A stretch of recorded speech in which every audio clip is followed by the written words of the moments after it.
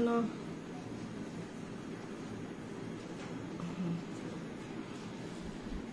बहनों भाइयों आप सभी को जय मसीह की कुछ व्यस्त पारिवारिक व्यस्तता के कारण मैं पिछले दिनों में प्रभु की सेव वचन की सेवकाई नहीं करने पाई इसलिए आप सभी से क्षमा चाहती हूँ और आज हम कुछ वचनों के द्वारा बहुत कुछ गंभीर बातों को समझेंगे, सीखेंगे और जानेंगे कि आज प्रभु हमसे किस विषय में बात करना चाहता है है ना? वचन के द्वारा हम इन पवित्र शास्त्र के वचनों के द्वारा हम इन बातों को सीखने और जानने पाएँगे।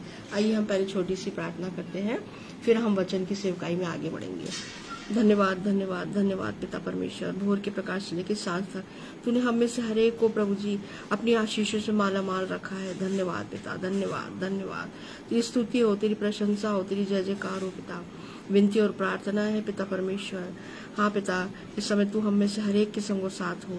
विनती और प्रार्थना है कि पिता परमेश्वर तेरी बच्चों के द्वारा पिता परमेश्वर, हम ये जो हमारा आत्मिक भोजन है इसके द्वारा हमारी आत्माएँ प्रभु जी, इन वचनों के द्वारा और अधिक मज़बूत होने पाए सामर्थ्य होने पाए पिता।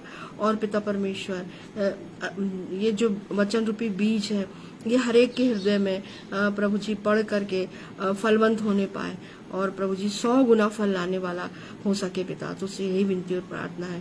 हे पवित्र आत्मा पिता समय मेरे संग और साथ हो। मैं तुझे आमंत्रित करती हूँ कि पिता, जो वचन तूने मुझे दिया है वो मैं नहीं, परंतु तू मेरे मुख से होके बोल। हाँ पिता, विनती और प्रार्थना है मौसम को और और अन्य शैतानी गतिविधियों को अपने नियंत्रण में रखना। और पिता, होने देना कि ये जो वचन रूपी, जो रोटी है पिता, ये हमारी आत्मा के लिए प्रभु जी, बहुत, और अधिक हमारी आत्मा को मज़बूत करने वाली ये रोटी, वचन रूपी रोटी होने पाए। हमारी आत्मा और अधिक सामर्थ्य होने पाए, मज़बूत होने पाए पिता। विनती और प्रार्थना है, पवित्र आत्मा पिता, कि मेरे मस्तिष्क को, मेरे मन को, मेरी आत्मा को, मेरी जीव को, मेरे होठों को अपने नियंत्रण में रखना, ताकि जो कुछ तू चाहता है, वो तेरे द्वारा प्रभु जी बोला जाए पिता। विनती और प्रार्थना है, पिता परमेश्वर अब मैं अपने सारे छोटे बड़े भाई बहनों को, जो फेसबुक लाइव पर तेरे सुसमाचार प्रचार में लगे हैं पिता, हर एक प्रियो को तेरे सामर्थ्य हाथ में सौंपती हूँ। और विनती और प्रार्थना करती हूँ, पिता, उनके हर एक के संगो साथ हो। हाँ प्रभु जी बहुत विषम परिस्थितियाँ हैं, पिता, और तू जानता है सारी स्थिति, परिस्थितियों को। परंतु फिर भी, पिता परमेश्वर, तूने हर एक खम्भों को तैयार किया है। धन्यवाद, पिता, धन्यवाद। और हर एक सुसमाचार, जो भाई बहन सुसमाचार प्रचार में पिता, आत्मा की सच्चाई से, पवित्र आत्मा की सामर्थ्य से प्रभु जी तेरे सुसमाचार प्रचार में वो कर रहे हैं पिता। हम विनती और प्रार्थना है पिता परमेश्वर, हर एक को अपनी सामर्थ्य से भर, पवित्र आत्मा की सामर्थ्य से भर, और उनके परिवार को, उनको एक अच्छा स्वास्थ्य दे पिता। हाँ प्रभु जी। जो भी विषम परिस्थितियाँ हैं हाँ प्रभु जी, अपने नियंत्रण में ले ले पिता। विनती और प्रार्थना है, प्रभु जी। ये जो वचन है पिता पवित्र शास्त्र के वचन, प्रभु जी, हर एक के मनों में प्रभु जी काम करने वाले हो। और पिता उन इन वचनों के द्वारा प्रभु जी, हर एक घुटना और हर एक जीव तेरे स्वर्गीय राज में आने पाए तो उससे यही विनती और प्रार्थना है। सारा आदर, इज़्ज़त, महिमा, गौर और जलाल, हे मेरे स्वर्गीय पिता, तुझे मिलने पाए। यह छोटी सी विनती, तेरे इकलौते बेटे, मेरे उद्धार के कर्ता, जीवन के दाता, मेरे मुक्तिदाता प्रभु यीशु मसीह के पवित्र और मीठे नाम होके मांगती हूँ। आमीन आमीन और आमीन। बहनों भाइयों, आज मैंने विषय लिया है गिफ्ट ऑफ़ गॉड आशीष, है ना? या ब्लेसिंग इसको हम ब्लेसिंग भी कह सकते हैं। ये जो आशीष है, या गिफ्ट ऑफ़ गॉड है, ये अगर हम देखें, भजन संहिता 128 है ना? भजन संहिता 128 में हम पाते हैं कि परमेश्वर का भय मानने की आशीष। जब हम परमेश्वर के भय में चलते हैं, अपने जीवन को लेकर के तो हमारे जीवनों में परमेश्वर बहुत प्रकार की अनगिनत आशीषें देता है। तो मैं पढ़ना चाहूँगी, भजन संहिता 128 पूरा, एक से लेकर छह पद तक। और ये जो आशीष है, ये पारिवारिक आशीष है। तो पहला है इसका पद, क्या ही धन है हर एक जो यहुआ का भय मानता है और उसके मार्गों पर चलता है। तू अपनी कमाई को निश्चय खाने पाएगा, तू धन्य होगा और तेरा भला ही होगा। तेरे घर के भीतर तेरी स्त्री फलवंत दाखलता सी होगी, तेरी मेज के चारों ओर तेरे बालक जलपाई के पौधे से होंगे। सुन, जो यहुआ का भय मानता हो, वह ऐसी ही आशीष पाएगा। यहुआ तुझे सियोन से आशीष देवे और तू जीवन भर यरूशलेम का कुशल देखता रहे। वरन तू अपने नाती पोतों को भी देखने पाए। इसराइल को शांति मिले। ये जो भजन 128 है ये पारिवारिक आशीषों के विषय में है। और इसमें जो चार व्यक्तिगत आशीष है है ना? और आ, अगर हम ये देखें तो पुराने नियम में और नए नियम में भी आशीष शब्द बहुत बार आया है, ठीक है? और जो आशीष है, उसका जो बोलचाल की भाषा में अगर हम कहें कि भाई, इसका अर्थ क्या है? आशीष का अर्थ क्या है? तो कल्याण की घोषणा करना, है ना? हम जब अपने छोटों को आशीष देते हैं तो हम उनके कल्याण की घोषणा करते हैं। और जब बड़े हमको आशीष देते हैं तो वो हमारे कल्याण की घोषणा करते हैं। लेकिन हम विश्वासियों के लिए सबसे महत्वपूर्ण बात है कि हमें परमेश्वर पिता की आशीष में या आशीषों में आगे बढ़ना है है ना? हाँ बोलचाल की भाषा में तो हमने बता दिया, अर्थ बता दिया कि कल्याण की घोषणा करना। ये सांसारिक हिसाब से है, आशीष का अर्थ। लेकिन जब हम आत्मिक आशीष की बात करते हैं और आत्मिकता की बात करते हैं तो हम इस बात को जानते हैं कि बहुत महत्वपूर्ण है मेरे और आपके लिए, जितने भी विश्वासी भाई बहन सबके लिए, कि हम परमेश्वर पिता की आशीष में आगे बढ़े, है ना? परमेश्वर पिता से आशीष को प्राप्त करते हुए आगे बढ़े हम। और जो जो आत्मिक आशीष है, वो हमें कौन देता है? पवित्र आत्मा के द्वारा प्राप्त होती है। है ना? पवित्र आत्मा हमें आशीष देता है। फिर पवित्र आत्मा के साथ साथ पिता और पुत्र यीशु मसीह के द्वारा भी हमें आशीष प्राप्त होती है।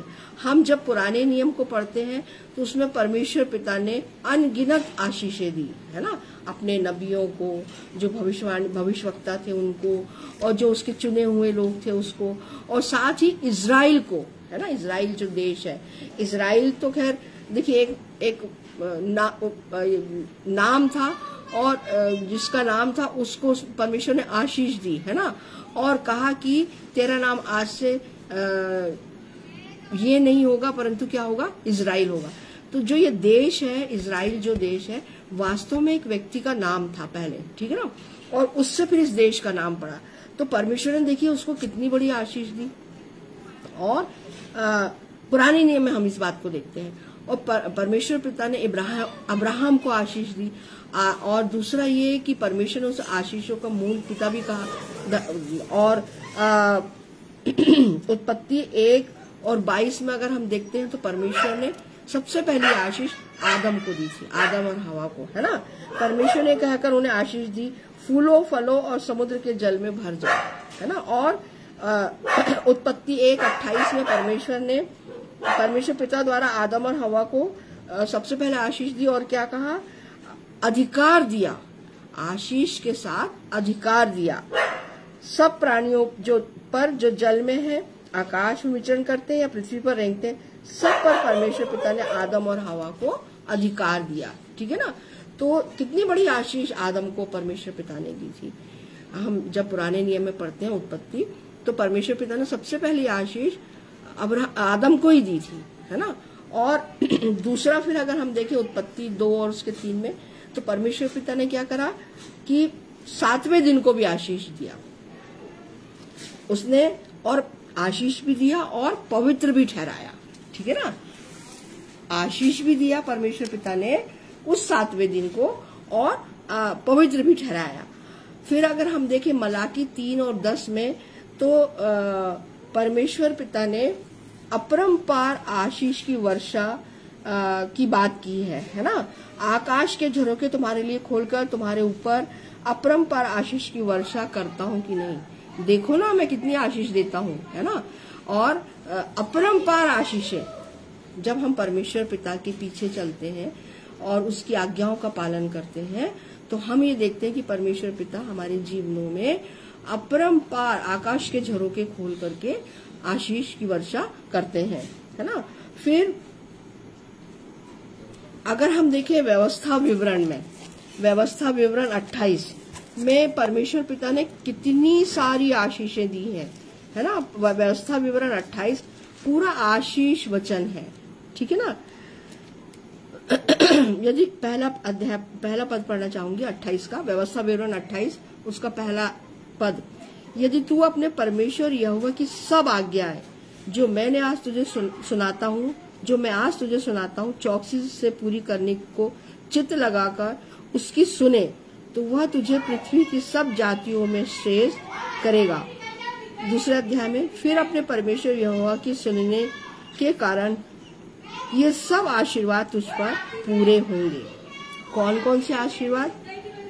धन्य हो तू नगर में धन्य हो तू खेत में धन्य हो तेरी संतान और तेरी भूमि की उपज और गाय भेड़ बकरी आदि पशुओं के बच्चे धन्य हो तेरी टोकरी और तेरी कटौती। टोकरी मतलब रोटी रोटी की टोकरी है ना? कटौती मतलब पानी पीने जो पानी जिसमें भर के रखा जाता है। और धन्य हो तू भीतर आते समय और धन्य हो तू बाहर जाते समय। यह हुआ ऐसा ही कर, करेगा कि तेरे, जो तेरे शत्रु जो तुझ पर चढ़ाई करेंगे, वे तुझको, तुझ से हार जाएँगे। वे एक मार्ग से तुझ पर चढ़ाई करेंगे, परंतु तेरे सामने से सात मार्ग से होकर भाग जाएँगे। देखिए, कितनी अच्छी बात है, आशीष वचन है ये व्यवस्था विवरण 28 और इसमें अपरंपार आशीषों के बारे में परमेश्वर पिता ने हमको बताया है है ना? अब अगर हम अब नए नियम में देखें तो नए नियम में हम ये देखते हैं कि जैसे मत्ती, दस और उसका बारह, घर में प्रवेश करते हुए आशीष दो। यीशु मसीह ने क्या कहा? मत्ती, दस और उसके बारहवें वचन को पढ़ना चाहूँगी।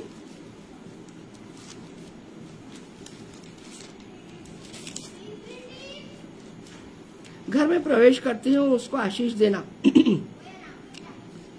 ये बात हो रही है बारह प्रेरितों की सेवा के कार्य। यीशु मसीह ने उनको समझाया और बताया कि भाई तुमको किस प्रकार से किन किन चीज़ों को ध्यान में रखते हुए सुसमाचार प्रचार करना है। तो सब तो क्या बोला? ग्यारहवा पद भी पढ़ना चाहूँगी इसका। आ, दस का ग्यारहवा। जिस किसी नगर या गाँव में जाओ तो पता लगाओ कि वहाँ कौन योग्य है और जब तक वहाँ से ना निकलो उसी के यहाँ रहो। फिर बारवा घर में प्रवेश करते हो, उसको आशीष देना, है ना? प्रभु यीशु मसीह ने क्या बोला? जिस भी घर में हम जाते हैं तो हमें क्या देना है? उस घर के लोगों को और उस घर को आशीष देना है। फिर अगर हम देखें मरकुस छ और इकतालीस। मरकुस छ और उसका इकतालीसवां पद।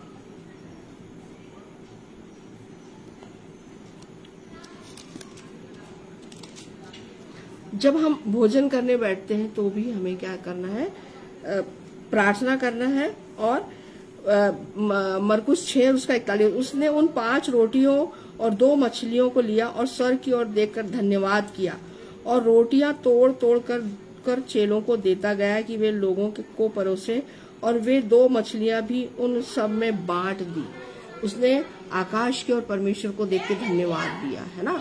और परमेश्वर से इस रोटी के लिए और इस मछली के लिए आशीष मांगी। तो हम ये देखते हैं कि जितने लोग थे, उसमें से पाँच हज़ार केवल पुरुष थे। स्त्रियों की संख्या इसमें नहीं दी है, न बच्चों की संख्या दी है, परंतु पाँच हज़ार पुरुषों की संख्या ज़रूर दी है। मतलब पाँच हज़ार पुरुष हैं तो स्त्रियाँ भी हैं और बच्चे भी हैं, है ना? उन सबने पाँच रोटी और दो मछली में भरपेट भोजन किया। तो वो कैसे हुआ?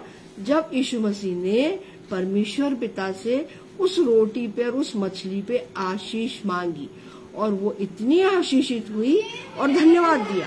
तो हम जब भी भोजन करने बैठते हैं, है ना? तो हम क्या करते हैं? पिता परमेश्वर को धन्यवाद देते हैं, है ना? और ये हमारा हर विश्वासी का पहला कर्तव्य है। कि हमें परमेश्वर पिता को भोर के प्रकाश से लेके जब हम अपने बिछौनों पे सोने के लिए जाते तब तक धन्यवाद देना है है ना? और भोजन के समय तो देना ही देना है। तो यहाँ पर हम देखते हैं कि परमेश्वर मरकुस छह इकतालीस में यीशु मसीह ने आशीष मांगी पिता परमेश्वर से और परमेश्वर पिता को धन्यवाद दिया भोजन के, के लिए। उसके बाद में है आ, इसी का मरकुस का उन्नीस पंद्रह। यीशु मसीह के चे मरकुस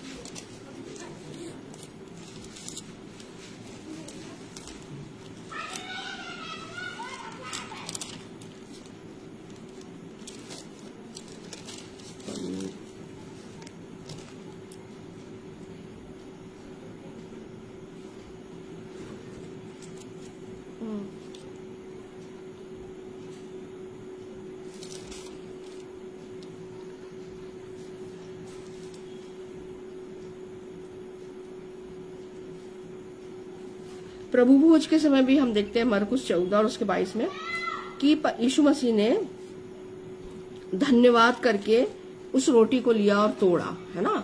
और अपने चेलों को बांटा, ठीक है ना? तो जैसा परमेश्वर यीशु मसीह ने अपने चेलों को समझाया, सिखाया कि हमें आशीष मांगना है पिता परमेश्वर से, और पिता परमेश्वर को उस आशीष के बदले हमें क्या देना है? धन्यवाद देना है। फिर आत्मिक आशीष के लिए इफिसियो एक और उसका तीन। आत्मिक आत्मिक आशीष के लिए भी हमको इफिसियो एक और उसके तीन, में जैसा हम पढ़ते हैं।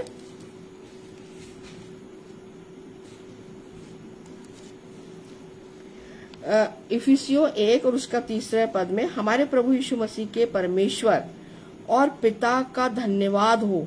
कि उसने हमें मसीह में स्वर्गीय स्थानों में सब प्रकार की आत्मिक आशीष दी है। आत्मिक आशीष है ना? तो अगर हम आ, आत्मिक आशीष भी हमें बहुत ज़्यादा ज़रूरत है आत्मिक आशीषों की है ना?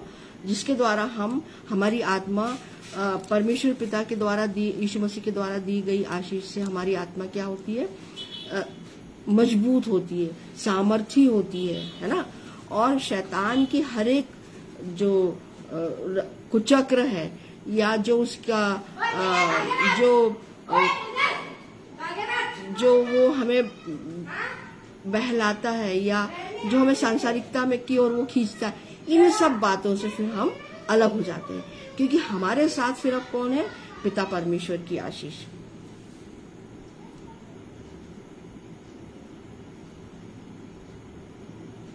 आशीष जो है, वो सभी के लिए है। मत्ती पाँच और पैतालीस को अगर हम पढ़ते हैं कि वहाँ पर यीशु मसीह ने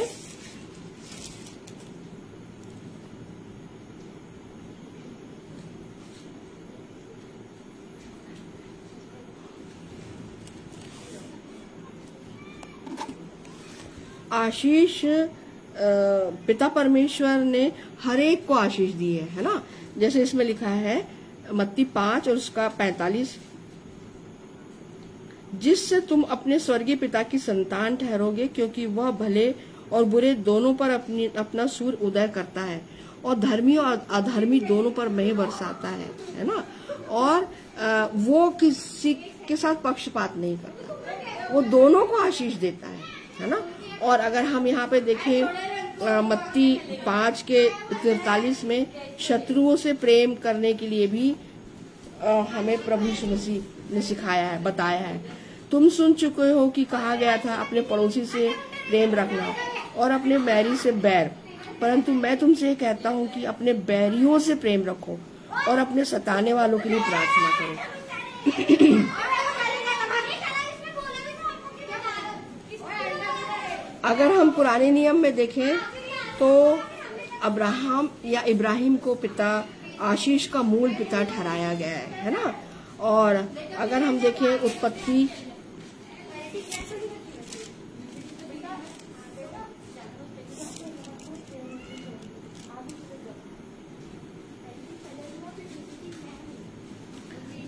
उत्पत्ति सत्रह का पाँच। इसलिए अब से तेरा नाम अब्राम न रहेगा परंतु तेरा नाम अब्राहम। अब्राहम का मतलब होता है बहुतों का पिता।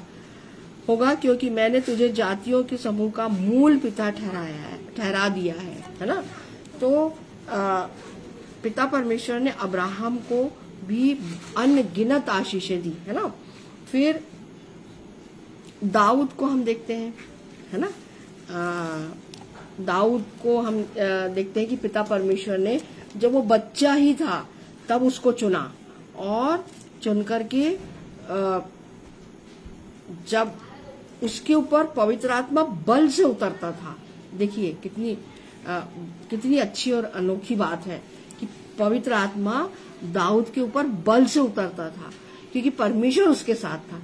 परमेश्वर उसके साथ था इसीलिए उसने तो इतने बड़े गोलियत को जो उसे कितना बड़ा था बाप रे बाप है ना? उसको एक पत्थर में गोफन की एक पत्थर में उसको, उसने मार डाला था। है ना? उसके सिर पर लगा था और वो मर गया। अगर हम देखें, यह स्केल चौतीस और उसका छब्बीस और सत्ताईसवां पद।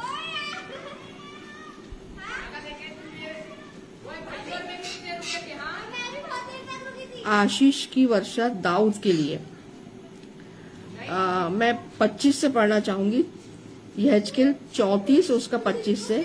मैं उनके साथ शांति की वाचा बांधूँगा और दुष्ट जंतुओं को देश में न रहने दूँगा। अतः वे जंगल में निडर रहेंगे और वन में सोएँगे।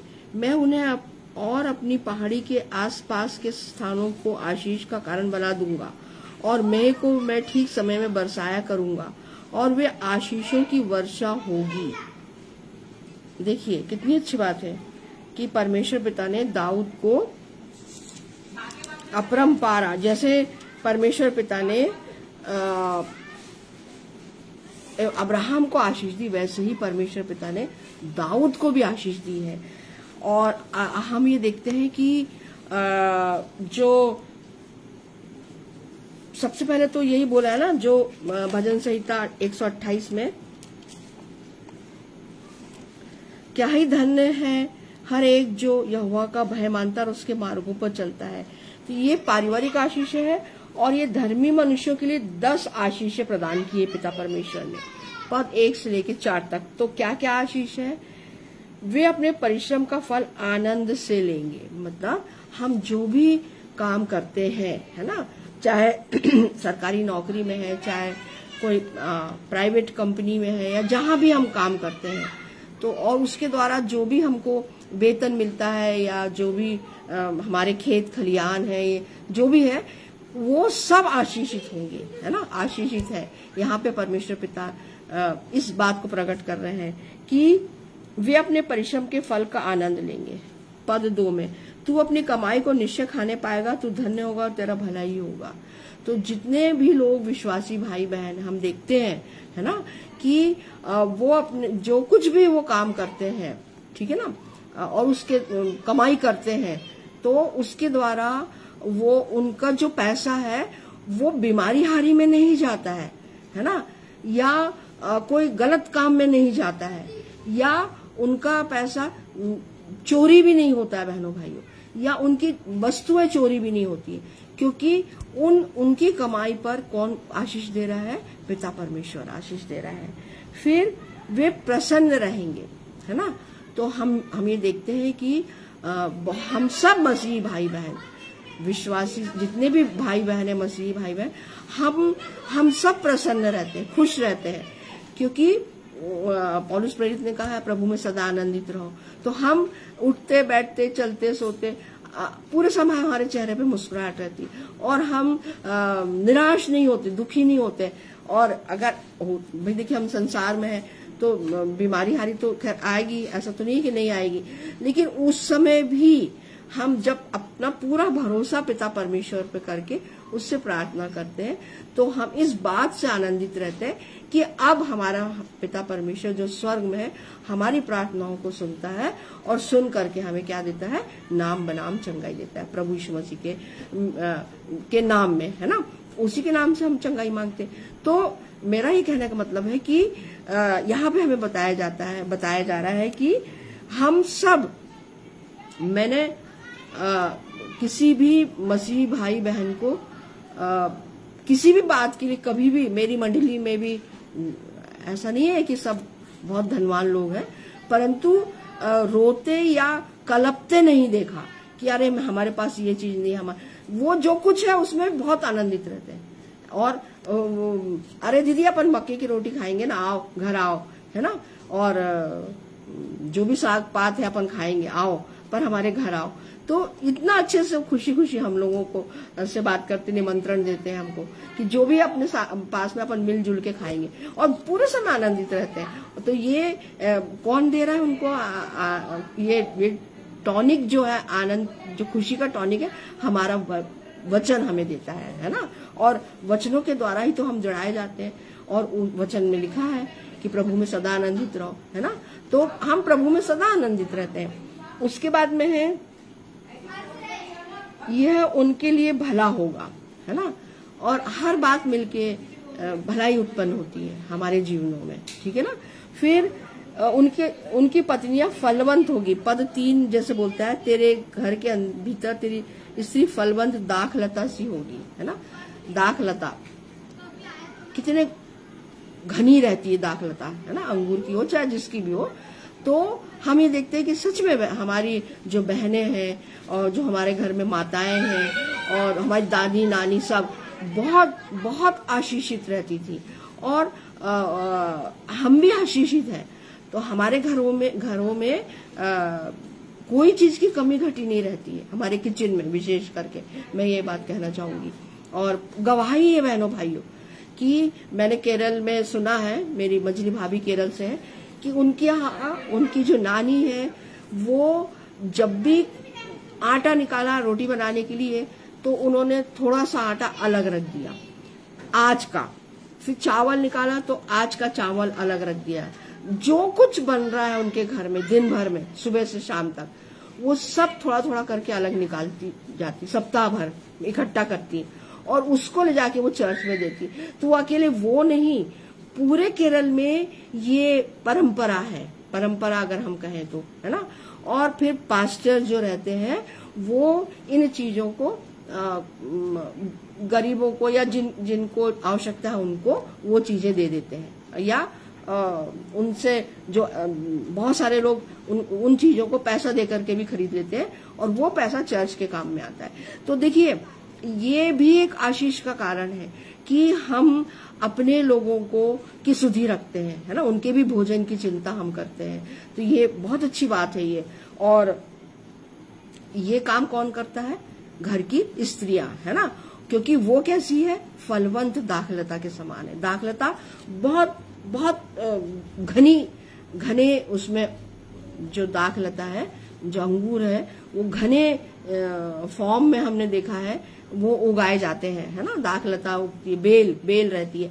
और आ, बहुत गुच्छों में उसमें अंगूर लगते हैं। तो ऐसी हम सब है। हम जितनी भी महिलाएँ हैं मैं सबके लिए ये बात बोलूँगी कि हमारे मन में कभी नहीं आता कि हम अगर हमारा पड़ोसी हमको ये पता चलता है कि आ, किसी कारण वंश उनके घर में भोजन की व्यवस्था नहीं है या कोई घटना दुर्घटना हो गई है तो हम पूरी कोशिश करते हैं है ना आ, कि हम कैसे भी करके उन तक सारी खाने पीने की चीज़ें पहुँचाए। और अपनी मंडली में भी अपन करते हैं इस प्रकार से। तो ये एक आशीष की बात है बहनों भाइयों। और ये आशीष वास्तव में मैंने देखा है और बहुत सारे अन्य जाति भाई बहनों से सुना है कि आप लोग मैडम आप लोग लोग आप अपने ईश्वर से डरते हैं और डर करके आप अच्छा काम करते सबके लिए अच्छा सोचते अच्छा काम करते हैं। तो ये उनकी गवाही है हाँ, अपन सबके लिए। तो इसमें परमेश्वर की बड़ाई हो परमेश्वर को महिमा मिले है ना? और फिर है दूसरा उनके संतान जैतून के बढ़ते हुए पौधों के समान स्वस्थ होंगे, है ना? जलपाई। तो यहाँ पे जलपाई है। तो ये जलपाई का जो पौधा है बहनों भाइयों, ये कभी मुरझाता नहीं है। कभी नहीं मुरझाता जलपाई का पौधा। और उसी तरह से हमारे बच्चे भी हैं पिता जो हमें दान के रूप में पिता परमेश्वर से प्राप्त हुए हैं ना? और ये जो बच्चे हैं, वो कैसे रहते हैं? स्वस्थ और भले चंगे रहते हैं। और ये परमेश्वर की आशीष है। और साथ ही पढ़ते लिखते हैं और माता पिता के आज्ञा में चलते हैं, है ना? और दूसरा ये कि जब हमारे बच्चे चर्च एक्टिविटीज़ में रहते हैं मतलब संडे स्कूल में, है ना? तब हम ये देखते हैं कि जैसे उनको सिखाया जाता है, समझाया जाता है, बताया जाता है छोटी छोटी कहानियों के द्वारा, योना नबी की कहानी के द्वारा, है ना? और और भी बहुत सारी कहानी है। उनके द्वारा जब बताया जाता है तो वो हम लोगों से आके प्रश्न करते हैं। और जिज्ञासा है उनके मन में कि आदम ने फल क्यों क्यों खा लिया था, मम्मी? फिर क्या फिर यीशु पापा क्यों नाराज़ हो गए? अब वो परमेश्वर पिता को तो ज़्यादा वो नहीं बोल पाते थे। तो यीशु पापा क्यों नाराज़ हो गए? तो उन्होंने फल ही तो खाया था ना तो क्या हो गया? तो फिर उनको हम लोग समझाते थे। और जब ऐसी शिक्षा हम अपने बाय वचन की शिक्षा जब हम अपने बच्चों को देते हैं बचपन से तो निश्चित रूप से मानिए बहनों भाइयों, धीरे धीरे धीरे धीरे जब इन वचनों के द्वारा अपने जीवन में आगे बढ़ते हैं तो परमेश्वर की आशीष उनके साथ होती है। और वो भी जलपाई के समान मुरझाते नहीं है। जलपाई का जो पौधा है, वो मुरझाता नहीं है है ना? तो हष्ट पुष्ट रहते हैं, है ना? और अलग से दिखते हैं हमारे बच्चे। हमारे बच्चे जो रहते हैं, जो है, वो बिल्कुल अलग से दिखते हैं कि ये क्रिश्चियन बच्चे ये मसीह बच्चे हैं। फिर, अगर हम देखें, वे परमेश्वर द्वारा आशीषित होंगे। और, निश्चित रूप से, जब वो भी वचन को लेके चलते हैं, पढ़ते हैं, समझते हैं तो वो भी परमेश्वर के द्वारा आशीष को प्राप्त करते हैं। वे अपने जीवन भर धन्य रहेंगे, वे दीर्घ जीवन जिएँगे और वे शांति को देखेंगे। तो यहाँ पे लिखा है ना, छठवे पद में, एक सौ अट्ठाईस का छठवा, वरन तू अपने नाती पोतों को भी देखने पाए, इसराइल को शांति मिले। तो जो हमारे बुज़ुर्ग लोग हैं वो उन्होंने हमको देखा है है ना? और हम अपने नाती पोतों को देखने पाएँगे। तो ये परमेश्वर के द्वारा आशीष है। और अगर हम ये देखें कि प्रभु यीशु मसीह को को भी सारा अधिकार परमेश्वर पिता ने दिया, है ना? मत्ती अट्ठाईस और उसका, अगर हम पढ़े, अठारह से बीस तक, कि ये इतनी सारी आशीषें पिता परमेश्वर ने यीशु मसीह को दी। कौन कौन सी? मत्ती अट्ठाईस, उसका अठारह। यीशु ने उनके पास आकर कहा, स्वर्ग और पृथ्वी का सारा अधिकार मुझे दिया गया है। इसलिए तुम जाओ सब जाति के लोगों को चेला बनाओ और उन्हें पिता और पुत्र और पवित्र आत्मा के नाम से बपतिस्मा दो। और उन्हें सब बातें जो मैंने तुम्हें आज्ञा दी है मानना सिखाओ। और देखो मैं जगत के अंत तक सदा तुम्हारे संग हूँ। तो यहाँ पर पिता परमेश्वर ने यीशु मसीह को भी पूरे सं, पूरे संसार का अधिक स्वर्ग और पृथ्वी का पूरा अधिकार किसको दिया है? प्रभु यीशु मसीह के पास। और प्रभु यीशु मसीह की आशीष को परमेश्वर ने आशीष दी है ना? और परमेश्वर पिता आ, ने उन्हें इतनी आशीषें क्यों दी? क्योंकि पिता परमेश्वर ने जिस प्रयोजन से इस पृथ्वी पर उन्हें भेजा था है ना? तो पर, प्रभु यीशु मसीह ने उस कार्य को पूरी पूरी शिद्दत से परमेश्वर पिता की आज्ञा का पालन किया। और उस कार्य को किया, है ना? और करके पिता परमेश्वर को महिमा दी। तो इसलिए पिता परमेश्वर ने उनको क्या किया? स्वर्ग और पृथ्वी का पूरा अधिकार यीशु मसीह के पास है आज। न्याय करने का भी अधिकार है यीशु मसीह के पास। फिर मरियम मरियम को भी पिता परमेश्वर ने आशीष दी, अनुग्रह की आशीष दी। लूका एक और उसका अट्ठाईस अगर अपन पढ़े तो उसमें जो जिब्राइल है,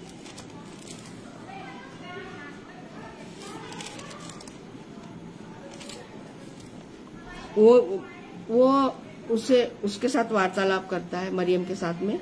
और क्या कहता है? स्वर्गदूत ने उसके पास भीतर आकर कहा, आनंद और जय तेरी हो, जिस पर ईश्वर का अनुग्रह हुआ है। है ना? तो ये जो आशीष वचन है ये स्वर्ग दूत जिब्राइल के द्वारा माता मरियम तक पहुँचा थे, है ना? और ये अनुग्रह की जो आशीष है, वो पिता परमेश्वर ने माता मरियम को दी थी। उसके बाद में अगर हम देखें, मनु, आशीष मनुष्य के द्वारा मनुष्य के लिए, है ना? भजन संहिता 134 भजन संहिता 134 का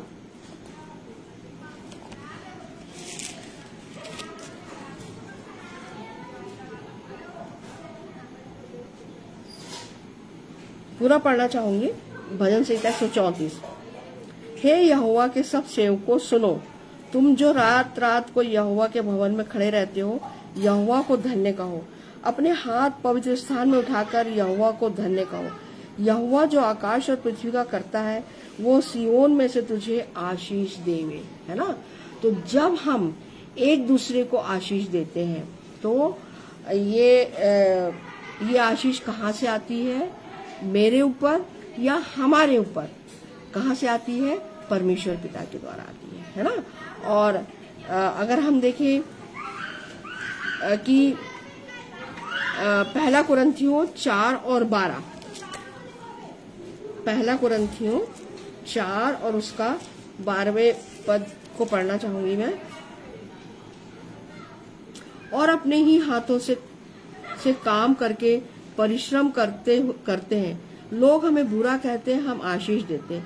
वे सताते हैं, हम सहते हैं। देखिए यहाँ पर पौलुस बिल्कुल स्पष्ट बात बोल रहा है बहनों भाइयों, कि चाहे कोई हमें सताए, हमें बुरा भला कहे, और हम देखते हैं, आज देख भी रहे हैं कि किस प्रकार से हमारे चर्चेस को जलाया जा रहा है, हमारे पासवानों को प्रताड़ित किया जा रहा है। लेकिन इसके बावजूद भी हमको क्या करना है, उनको आशीष देना है। क्योंकि पॉलुस, यीशु मसीह के समय में भी यीशु मसीह को सताया गया। पॉलुस के समय में भी हम देखते हैं। तो यीशु मसीह ने उनको, जब यीशु मसीह को थप्पड़ मारे जा रहे थे, उसके मुँह पे थूका जा रहा था, उसको कांटों का ताज पहनाया जा रहा था तो क्या उसने विरोध किया? बिल्कुल नहीं किया, है ना? बल्कि उसने पहली वाणी क्या बोला क्रूस पे से? हे पिता, इन्हें क्षमा कर, क्योंकि ये नहीं जानते कि ये क्या कर रहे हैं। तो परमेश्वर पिता से सबके लिए यीशु मसीह ने क्षमा मांगी, है ना? तो यहाँ पर भी पौलुस इसी बात को कह रहा है कि और अपने ही हाथों से काम करके परिश्रम करते हैं, लोग हमें बुरा कहते हैं, हम आशीष देते हैं। और वे सताते हैं, हम सहते हैं। वे बदनाम करते हैं, हम विनती करते हैं। हम आज तक जगत का कूड़ा और सब वस्तुओं की खुरचन के समान ठहरे हैं। ठीक है ना? कोई दिक्कत नहीं है। हम जगत का कूड़ा है और कचरा है है ना? हमें सताया जा रहा है और भला बुरा कहा जा रहा है। फिर भी हमें क्या करना है? उन लोगों को, अपने सताने वालों को आशीष देना है है ना? और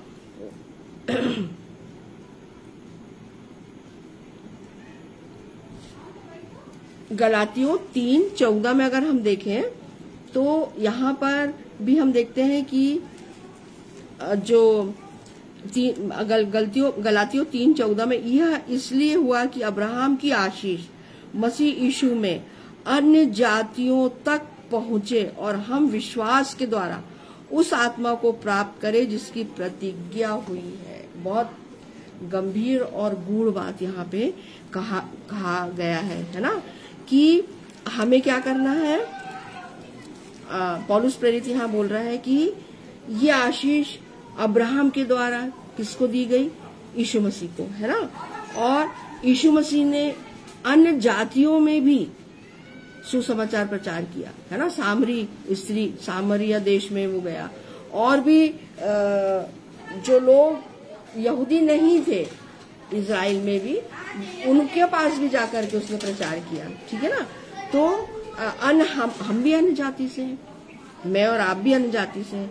तो और हम ये विश्वास करते हैं कि हमारा प्रभु यीशु मसीह मेरे और आपके लिए ही तो इस पृथ्वी पर आया, जिसने मेरे और आपके पाप, पापों को, श्रापों को, अपराधों को, सारे दंड को अपने ऊपर लिया, है ना?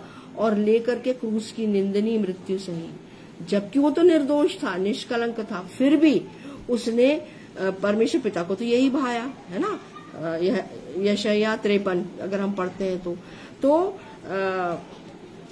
और इस प्रकार से प्रभु यीशु मसीह के द्वारा जब हम ये विश्वास करते कि नहीं, मेरा प्रभु मेरे लिए इस पृथ्वी पर आया और उसने इतने दुख उठाए और क्रूस की मृत्यु सही और तीसरे दिन वो जी उठा और आज वो युगानुयुग जीवित है और आज वो पिता परमेश्वर के दाहिने हाथ में बैठा है और वहाँ भी वो हमारे लिए विनती कर रहा है। हमारे लिए प्रार्थना कर रहा है।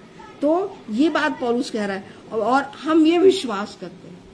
और ये विश्वास उस आत्मा को प्राप्त करे जिसकी प्रतिज्ञा हुई। हम विश्वास के द्वारा उस आत्मा को प्राप्त करें जिसकी प्रतीक पवित्र आत्मा, है ना?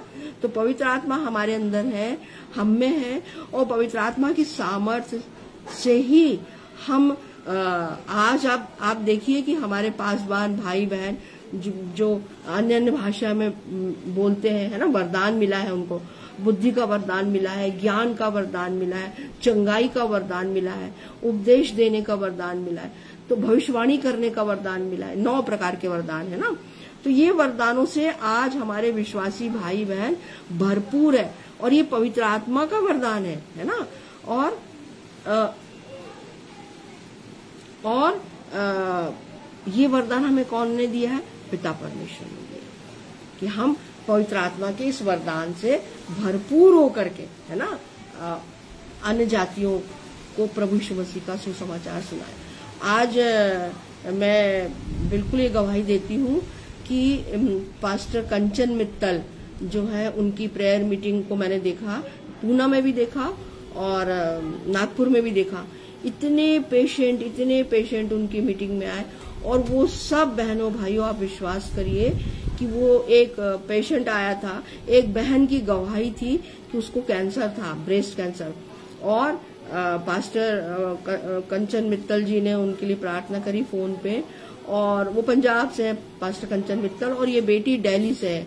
और वो गवाही देने पूना आई और उसने गवाही दी कि जब डॉक्टर ने कहा ऑपरेशन होगा तो इसने बोला नहीं मेरी मम्मा ने मना किया है और मेरी मम्मा पास्टर कंचन मित्तल प्रेयर में है।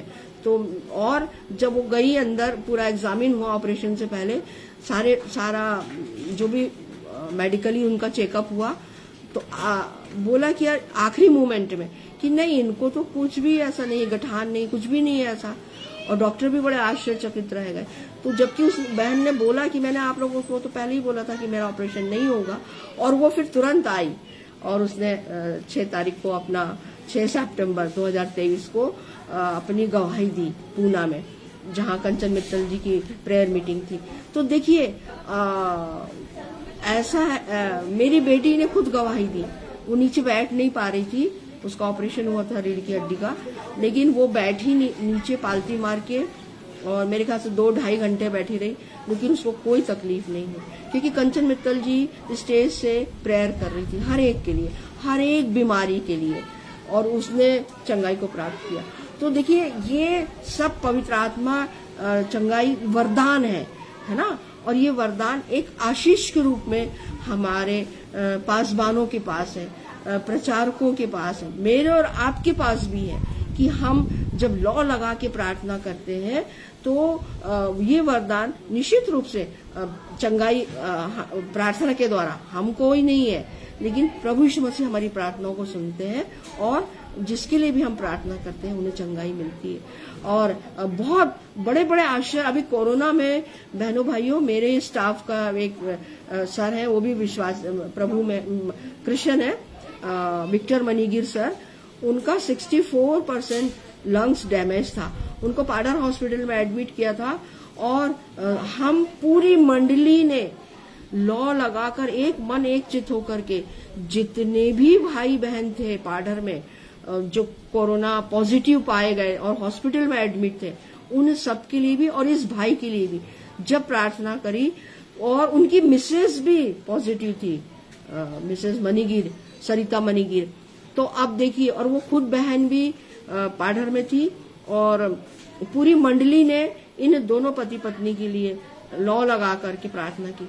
आज दोनों भले चंगे और मणिगिर सर ने आके जब पूरी तरह से स्वस्थ हो गए और डॉक्टर ने बोला कि हाँ अब आप जा सकते हैं पब्लिक में फिर वो चर्च आए पास्टर साहब की परमिशन लेके और उन्होंने अपनी गवाही दी कि किस प्रकार से प्रभु ने उनको संभाला और चंगाई दी और उनकी पत्नी ने भी गवाही दी।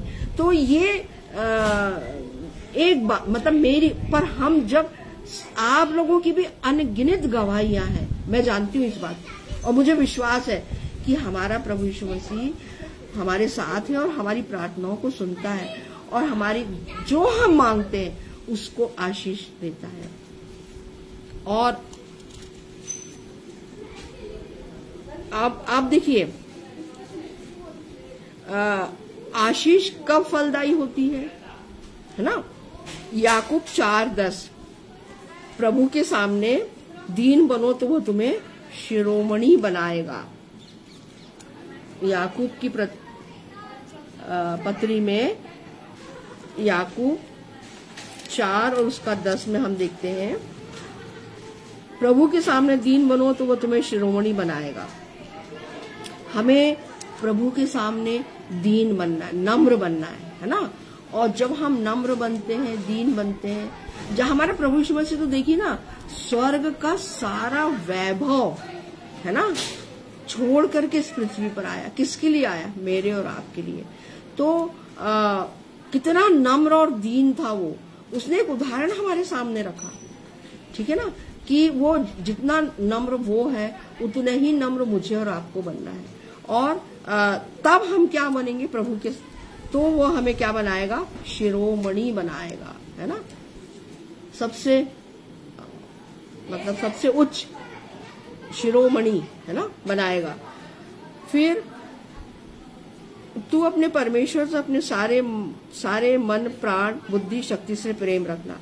व्यवस्था, विवरण 26 और उसका 16 तो मन से प्रेम रखना है हमको, फिर प्राण से प्रेम, मन मन को अपने कंट्रोल में रख करके परमेश्वर की ओर मन को फेरना है है ना? और जैसे नीति वचन 16 का 32 में कहा गया है, नीति वचन 16 और उसके 32 में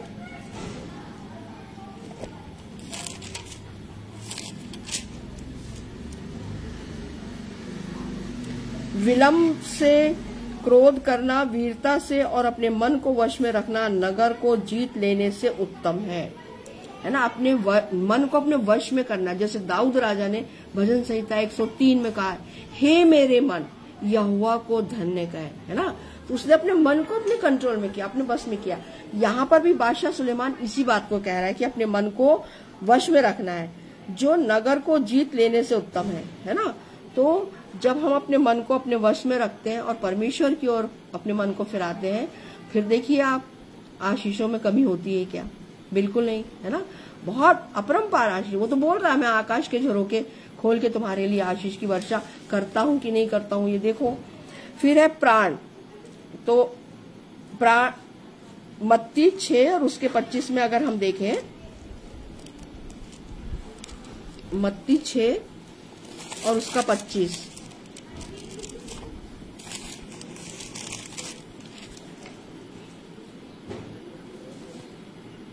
इसलिए मैं तुमसे कहता हूँ कि अपने प्राण के लिए यह चिंता न करना कि हम क्या खाएँगे और क्या पिएँगे और न अपने शरीर के लिए कि क्या पहनेंगे। क्या प्राण भोजन से और शरीर वस्त्र से बढ़कर नहीं? है ना? तो प्रभु यीशु मसीह ने और पुराने नियम में हम देखते हैं कि आ, पिता परमेश्वर ने भी यही बात बोली है कि आ, हम आ, सारे मन से सारे प्राण से। तो बहुत बार क्या होता है कि आ, हम मनुष्य हैं है ना? सांसारिकता में में पड़ जाते हैं सांसारिकता में है। तो हम सबकी चिंता करते हैं। मन की मन को भी अपने वश में नहीं रखते प्राण की ज़्यादा चिंता करते हैं ना? लेकिन यहाँ पे स्पष्ट बोला है प्रभु यीशु मसीह ने कि तुमको इस बात की चिंता बिल्कुल नहीं करना है कि हम क्या खाएँगे और क्या पहनेंगे है ना? ये सारी चिंता किस किसके ऊपर रख दो? कहा दे दो? हे सब परिश्रम करने वालों और बोझ से दबे लोगों, मेरे पास आओ, मैं तुम्हें विश्राम दूँगा। तो हमको प्रभु यीशु मसीह को देना है, सौंपना है। और फिर बुद्धि। तो बुद्धि से भी क्या है? हमें पिता परमेश्वर की को, वो बुद्धि के द्वारा भी हमें आशीष प्राप्त होती है। नीति वचन एक और उसका साथ यहुआ का भय मानना बुद्धि का मूल है। बुद्धि और शिक्षा को मूल ही लोग तुच्छ जानते हैं।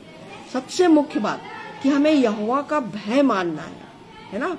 जब हम पिता परमेश्वर का भय मानते हैं, बहनों भाइयों, अपने जीवनों में तो निश्चित मानिए कि फिर हम संसार से और पाप से दूर रहते हैं। शैतान को हम बिल्कुल अवसर नहीं देते हैं। तो सबसे मेन क्या है? हमें परमेश्वर का भय मानना है है ना? और और अगर हम देखें शक्ति तो जकरिया चार और उसका छह, न तो बल से और न शक्ति से, परंतु मेरी आत्मा के द्वारा होगा, है ना? परमेश्वर ने साफ़ बोला है कि कोई बल से नहीं, कोई शक्ति से नहीं, परंतु मेरी आत्मा के के द्वारा, है ना? जब दाऊद के ऊपर परमेश्वर की आत्मा उतरती थी तो बल से उतरती थी, और दाऊद किसी भी कभी भी उसने युद्ध में उसने उसको हार नहीं मिली है ना? जब हम अपने जीवन में देखते हैं तो आ, संसार में है हो सकता है बहुत बार हमारे को निराशा सांसारिक वे में घेरी घेरती है हम निराश होते हैं दुखी होते हैं परंतु एक आशा हमारे मन में है और वो क्या है कि हमारे साथ हमारा पिता परमेश्वर है और आ, वो सब कुछ कर देगा। सब कुछ ठीक कर देगा। प्रभु यीशु मसीह हमारे साथ है। वो सब कुछ ठीक करेगा और हमें आशीषित करेगा है ना? तो आ, इस बात को हमको समझना है। फिर प्रेम। आखिरी वाला है प्रेम। बुद्धि शक्ति से प्रेम रख है ना? तो सबसे आखिरी है प्रेम। योहन्ना तीन सोलह।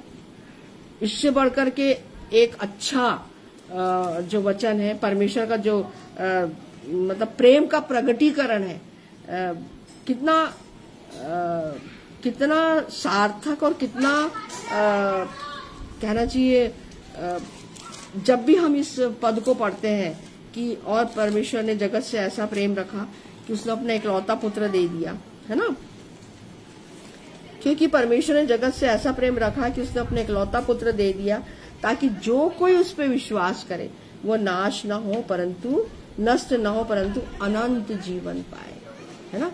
कितनी अच्छी बात है ये, कि परमेश्वर ने सबके लिए रास्ता खोला है, स्वर्ग जाने के लिए, स्वर्ग में आने के लिए, है ना? सबके लिए। क्या यहूदी, क्या इज़राइली क्या अन्य जाति, हम सब अन्य जाति से हैं, है ना? हम दाग की बारी में साटे गए हैं, है ना? यहूदी और इसराइलियों में हम साटे गए हैं। तो ये हमारे लिए बहुत बड़ी बात है बहनों भाइयों। और यहाँ पे पिता परमेश्वर का जो प्रेम है, वो अद्वितीय है। ऐसा प्रेम संसार में किसी ने किसी के से भी नहीं किया। जो हमारे पिता ने हमसे प्रेम किया, कि उसने अपना इकलौता पुत्र दे दिया, है ना? क्यों दे दिया? ताकि उसके द्वारा हमें अनंत जीवन मिले। जब हम इस बात पे विश्वास करते हैं कि प्रभु यीशु मसीह मेरे लिए मेरे पापों के लिए, मेरे श्रापों के लिए, मेरे अपराधों के लिए, मेरे दंड दंड, जो दंड मुझ पे आना था, उसने सब सह लिया। है ना? जब मैं ये विश्वास करती जब हम ये विश्वास करते हैं, तब फिर देखिए आप, और इस विश्वास में स्थिर रहते हैं, है ना? और इस विश्वास में और आगे बढ़ते चले जाते हैं। तो फिर आप देखिए कि हमारे ऊपर प्रभु यीशु मसीह की अनंत आशीष है। और सबसे बड़ी आशीष क्या है पिता परमेश्वर की? प्रभु यीशु मसीह के साथ अनंत जीवन। कितनी बड़ी बात है ये, है ना? इस संसार का नहीं, परंतु प्रभु यीशु मसीह के साथ, उस उसके स्वर्गीय राज में अनंत जीवन के वारिस होते हैं हम। यानी कितनी बड़ी बात है, कितनी बड़ी आशीष है ये पिता परमेश्वर की। क्योंकि उसका प्रेम मुझ पे और आप पर, सारे समस्त मानव जाति पर है। उसने किसी के साथ भेदभाव नहीं किया है है ना? सबके, सब समान रूप से वो सूर्योदय सूर्योदय सबके लिए करता है है ना? चंद्रमा की रोशनी सबके लिए है। तो जब वो भेदभाव नहीं करता, उसने सबको आशीष दिया है। और परंतु, अब स्वर्ग जाने की जो बात है, या यीशु मसीह के साथ अनंत जीवन की जो बात है, लेकिन उसमें शर्त है, जो कोई परमेश्वर जो कोई प्रभु यीशु मसीह पे इस बात पे विश्वास करता है है ना? कि उसने मेरे पापों को अपने ऊपर लिया, है ना? और उस क्रूस की मृत्यु को सहा और मर गया, गाड़ा गया, और तीसरे दिन जी उठा। और वो युगानुयुग जीवित है। और वो फिर से बादलों पर अपनी दुल्हन को लेने आने वाला है है ना? ये हमारा विश्वास तो इस विश्वास में हम और अधिक मज़बूत बनते चले जाएँ, और परमेश्वर का प्रेम निश्चित रूप से हमारे साथ है। और परमेश्वर की नाम बनाम आशीष हमारे साथ है। जो आशीष अभी हमने देखा भजन संहिता एक सौ अट्ठाइस में। तो आज हमने वचनों के द्वारा ये बात सीखी कि आशीष क्या है और किन्हें मिलती है कब मिलती है और हमें भी आशीष कैसे मिल सकती है और आ, हम प्रभु में जब अंश अंश बढ़ते हैं शहने शैने बढ़ते हैं है ना? और जब हम पवित्र आत्मा पिता को अवसर देते हैं कि वो हमारे जीवन में आए और हमारे जीवन का संचालन पवित्र आत्मा पिता करे। फिर आप देखिए कि आ, पिता पवित्र आत्मा आपको बहुत सी बातों में गाइड करता है। आज एक छोटी सी गवाही देना चाहूँगी। आज हमारे चर्च में अनाउंसमेंट हुआ कि चर्च के बाद महिला समाज भी होगी और यूथ मीटिंग भी होगी तो रुक जाए है ना? महिलाएँ रुक जाए और नौजवान बच्चे जो हैं युवक युवती वो भी रुके। तो बच्चे चले गए अपने अपने जहाँ उनकी प्रेयर मीटिंग होती है आ, उस जगह पे। और हम चर्च के अंदर ही थे। तो जो संचालिका है महिला समाज की उसने मेरे से पूछा कि दीदी आप बोलेंगी क्या? मैंने कहा बिल्कुल बोलूँगी। और मैंने बताया कि पवित्र आत्मा कबूतर के नाई यीशु मसीह पर क्यों, कबूतर के ही, कबूतर को ही क्यों चुना? पिता परमेश्वर ने पवित्र आत्मा को मतलब पवित्र आत्मा कबूतर के प्रतीक के रूप में आया, किस प्रकार से आया और क्यों आया? तो जबकि बहुत ज़्यादा मेरी उसमें स्टडी नहीं थी। लेकिन जब हमने प्रार्थना करा और मैंने भी प्रार्थना करके पवित्र आत्मा को से सामर्थ्य मांगी तो मैं कबूतर को ही क्यों चुना? उस विषय में वो दूसरे पक्षी को भी चुन सकता था, पिता परमेश्वर। क्योंकि बाइबल में उकाब पक्षी का ज़िक्र है, गौरैयों का ज़िक्र है, शापान का ज़िक्र है है ना? और कौओं का ज़िक्र है। कौए ने खाना खिलाया था। तो कहने का मतलब ये है कि परंतु परमेश्वर पिता ने केवल कबूतर को चुना है ना? तो कबूतर में ऐसी क्या खासियत है जो परमेश्वर पिता ने उसे पवित्र आत्मा के रूप में के पवित्र आत्मा का एक प्रतीक के रूप में वो उस उसके ऊपर आया ना पवित्र आत्मा कबूतर की नाई उतरा। तो आ, ये बात बताई मैंने अपनी बहनों को।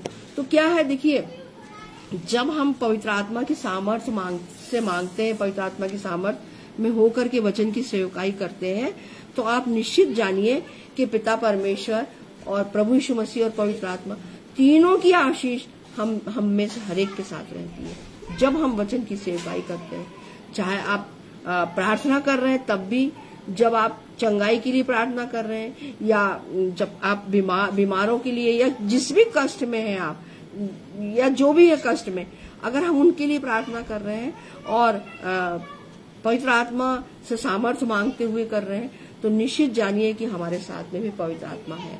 और पवित्र आत्मा की सामर्थ्य से ही आ, हम वचन की सेवकाई करते हैं क्योंकि नौ वरदान है है ना? बुद्धि का ज्ञान का चंगाई का भविष्यवाणी का और अन्य अन्य भाषा बोलने का। तो ये वरदान भी हमें पिता परमेश्वर के द्वारा प्राप्त होते हैं और पवित्र आत्मा की सामर्थ्य से हम भर, भर, भरपूर रहते हैं। तो आज हमने ये कितनी सारी आशीषों के बारे में समझा और सीखा कि ये ब्लेसिंग ये गिफ्ट ऑफ़ गॉड हमें कब और कैसे और क्या किस प्रकार से प्राप्त होती है है ना? आइए हम छोटी सी प्रार्थना करते हैं। धन्यवाद धन्यवाद धन्यवाद पिता परमेश्वर। धन्यवाद प्यारे यीशु धन्यवाद पिता धन्यवाद पवित्र आत्मा पिता। तेरी स्तुति हो तेरी जय जयकार हो पिता तेरी प्रशंसा हो। धन्यवाद धन्यवाद पिता कि तूने प्रभु जी इतना सुंदर वचन प्रभु जी आ, आ, पिता आज मुझे दिया कि पिता मैंने तेरे द्वारा दी गई आशीषों पर प्रभु जी वचन के द्वारा प्रभु जी हमने सीखा समझा कि तेरी आशीष अपरम्पार है। और परंतु उसके साथ प्रतिज्ञा यह है कि हमको तेरे पीछे चलना है, तेरे भय में चलना है पिता परमेश्वर। हाँ पिता, और भजन संहिता एक सौ अट्ठाईस में जो आशीष तूने परिवार में दी है, धन्यवाद पिता, धन्यवाद धन्यवाद धन्यवाद। तेरी स्तुति हो, तेरी महिमा हो, तेरी प्रशंसा हो पिता। विनती और प्रार्थना पिता, इन जीवित वचनों के द्वारा प्रभु जी, हम सबकी आत्माएँ और अधिक दढ़ाई जाए, मज़बूत की जाए। हमारी आत्मा पिता सामर्थ्य को प्राप्त करें पिता। हाँ प्रभु जी, विनती और प्रार्थना पिता, इन दिनों में जहाँ भी तेरा सुसमाचार प्रचार सुनाया जा रहा है, हरेक श्रोता और हरेक वक्ता पे तेरी नाम, बनाम आशीष हो। हाँ पिता परमेश्वर, तुझसे यही विनती और प्रार्थना पिता, जबकि तेरे बेटे का आना बहुत निकट है। हम सब आत्मा में जीवित रह के उससे मिलने पाए पिता। तुझसे यही विनती और प्रार्थना है। हम सबको तूने सामर्थ्य दिया है पिता। पवित्र आत्मा की सामर्थ्य से हम सब भरपूर है। इसके लिए तेरा लाख लाख धन्यवाद पिता परमेश्वर। धन्यवाद प्यारे यीशु, धन्यवाद धन्यवाद धन्यवाद धन्यवाद धन्यवाद। तेरी स्तुति हो, तेरी प्रशंसा हो, तेरी जय जयकार हो पिता। विनती और प्रार्थना है पिता परमेश्वर। जितने भी भाई बहन मौसम की बीमारियों से पीड़ित हैं या कोई गंभीर बीमारी से पीड़ित है दया कर पिता हर एक पे। हे पवित्र आत्मा पिता उनके संग और साथ हो उन्होंने नाम बनाम चंगाई प्रभु यीशु मसीह के पवित्र मीठे नाम में नाम बनाम चंगाई दे पिता। तुझसे यही विनती और प्रार्थना है। विनती और प्रार्थना है पिता जहाँ पर बाढ़ आ, आ गई है पिता अत्यधिक पानी गिरा है। उन उन घरों को भी पिता उन लोगों के लिए भी तुझसे मांगती हूँ कि उन पे भी तेरी आशीष हो पिता। और प्रभु जी वे आ, प्रभु जी, तेरे द्वारा प्रभु जी संभाले जाए पिता। हाँ प्रभु जी, बीमारी हारी से उन्हें बचाए रखना। विनती और प्रार्थना है पिता परमेश्वर, जहाँ पे वर्षा नहीं हो रही है, वहाँ पे दया करके वर्षा को आज्ञा दे पिता, बादलों को आज्ञा दे कि वो उन क्षेत्रों में भी बरसे पिता, जहाँ पानी की बहुत अधिक आवश्यकता है। विनती और प्रार्थना है पिता परमेश्वर कि हम सब प्रभु जी, लौ लगा करके पिता परमेश्वर, तेरे बेटे के क्रूस के नज़दीक आते हुए पिता, तुझसे यही प्रार्थना करते हैं कि पिता तेरे बेटे का आना बहुत निकट है, हमारे प्रभु यीशु मसीह का आना बहुत निकट है और हम सब प्रभु जी उसके साथ, प्रभु जी उसकी दुल्हन के रूप में तेरे पास आने पाए पिता। तुझसे यही विनती और प्रार्थना है, हर एक आत्मा को प्रभु जी और अधिक मज़बूत कर कि हम तेरे बेटे पे प्रभु जी जीत से अंगीकार करते हुए, मन, आत्मा से उसे अपना उद्धार करता, स्वीकार करें पिता। और उसके साथ तेरे स्वर्गीय राज में आने पाए। प्रभु जी, जैसे तू चाहता है, पिता परमेश्वर। धन्यवाद पिता, धन्यवाद धन्यवाद धन्यवाद। मैं अपने सारे भाई बहनों को फेसबुक लाइव के सारे भाई बहनों को, सारे पासबानों को, उनके परिवार को पिता, तेरे सामर्थ्य हाथ में सौंपती हूँ ईश्वर राजा। हर एक के घरों की कमी घटियों को तू जानता है, और तू ही पूरी करने हारा है। मैं अपने छोटे भाई पास्टर, आदरणीय पासबान, अनुपम डेविड जी को, उनकी पत्नी को, बच्चों को भी पिता और आदरणीय पासवान कपिल शर्मा जी को, और पिता, और भी जितने पासवान हैं पिता, उन सबको भी तेरे सामर्थ्य हाथ में सौंपती हूँ हर एक पे तेरी नाम बनाम आशीष। हो पवित्र आत्मा की सामर्थ्य सबको भरपूर कर, पिता परमेश्वर। हाँ पिता परमेश्वर, तुझसे यही विनती और प्रार्थना है। हर एक पे तेरी तरह अनुग्रह, तेरी कृपा बनी रहे, पिता। तेरी आशीष बनी रहे, तुझसे यही विनती और प्रार्थना है। सारा आदर, इज़्ज़त, महिमा तेरे चरणों में। ये छोटी सी बिनती, तेरे इकलौते बेटे, मेरे उद्धार के करता, जीवन के दाता, मेरे मुक्तिदाता प्रभु यीशु मसीह के पवित्र और मीठे नाम में होके मांगती हूँ। दया करके स्वर्गीय राज में, इस छोटी सी दुआ को ग्रहण कर। आमीन आमीन और आमीन। भाई, आप सभी को जय मसीह की।